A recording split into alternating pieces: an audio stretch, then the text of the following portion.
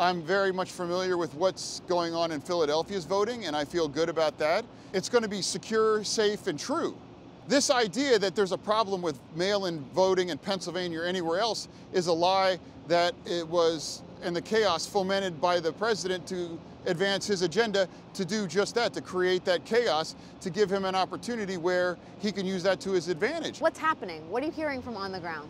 I'm hearing on the ground that, that Trump is playing Pennsylvania as well as you could play Pennsylvania right now. And I also believe that the vice president is playing Pennsylvania as well as you can play. Both teams sending their A game and their starters to figure out you know, who's going to win Pennsylvania. The polls are clearly in the vice president's favor, but the chaos and the upheaval is unprecedented in election history in Pennsylvania.